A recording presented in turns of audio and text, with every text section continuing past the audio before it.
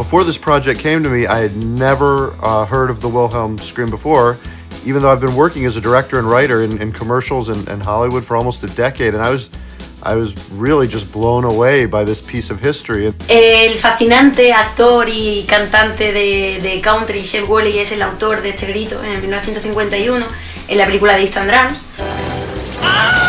Un grito que, que, gustó tanto que se guardó y en el 53 se volvió a utilizar en la carga de los jinetes indios. A partir de un personaje que murió ahí con ese grito, que era Wilhelm, que era un cowboy que iba por ahí, Ben Burtt, que era sonidista de Star Wars, le puso el nombre y Esta es una de esas pequeñas historias que el cine lleva dentro. Va un romano y va y se muere con un grito como ¡Ah! Y luego viene un cowboy y se muere ¡Ah! Todos se mueren con el mismo grito.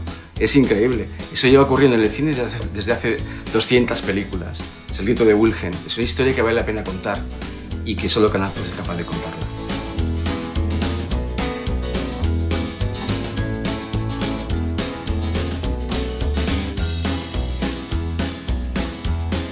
Nosotros estuvimos buscando a la figura del autor del grito en los Estados Unidos, en Norteamérica, y al final sí la hemos encontrado en un pequeño pueblo que se llama Hendersonville, que está en Tennessee.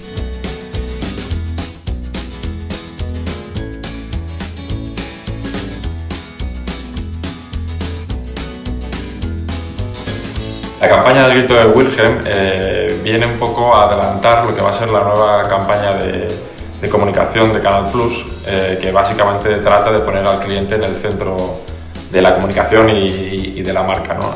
Dejad en paz a Wilhelm, por favor. Os encanta el cine, tenemos una comunidad donde estáis todo el rato participando con nosotros de lo que más nos gusta y os gusta.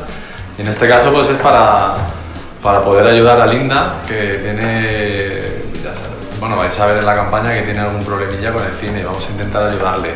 Grabemos todos un grito para evitar que su marido salga en más películas. Eh, desde el estudio de Chaplin eh, lo que queremos es justo esto, llegar a la mayor cantidad de gente posible. Simplemente saca tu móvil y grita.